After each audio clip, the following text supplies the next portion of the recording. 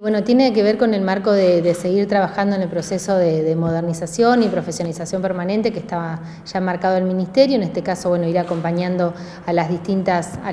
delegaciones, esta vez nuevamente a toxicomanía, que ya veníamos de un proceso de reequipamiento que era necesario para,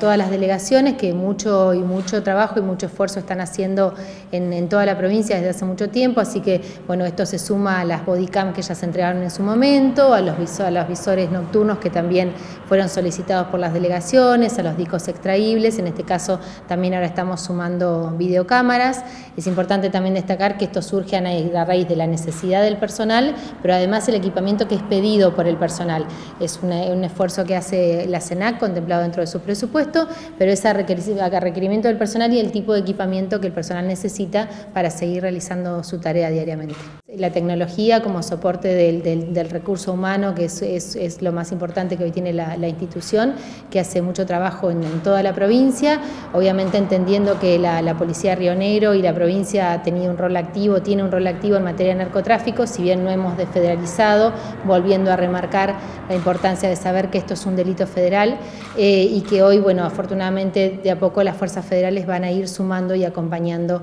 a nuestras delegaciones en el trabajo de la provincia. La Policía Federal eh, de la División Narcóticos de, Neuquén se acercó a la Regional Segunda, ya se, le hizo el pedido formal por, solicitud de la Secretaría de Seguridad del contacto de cada uno de los jefes regionales para que las distintas fuerzas federales vayan tomando contacto con ellos y coordinando operativos. Y la Policía Federal está haciendo ahora, seguramente la población los podrá ver, algunos operativos también en el, en el puente, en la caminera en el puente nuevo de Viedma, así que bueno, de a poco están comenzando a coordinarse los operativos.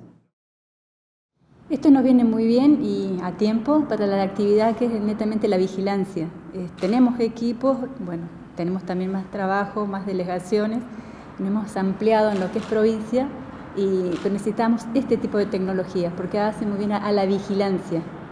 Tenemos otras cámaras, pero hacen a filmar y a grabar el procedimiento pero a la vigilancia necesitamos de otra tecnología y esta es la que reúne los requisitos. Es una actividad permanente. Eh, nosotros entendemos que estamos también haciendo prevención desde el momento de que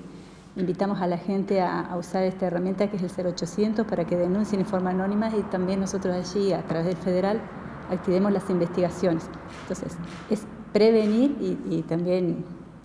eh, salir y cortar, interrumpir estas rutas esta actividad que tiene el narcomenudeo o esta tarea ilícita dentro de la provincia.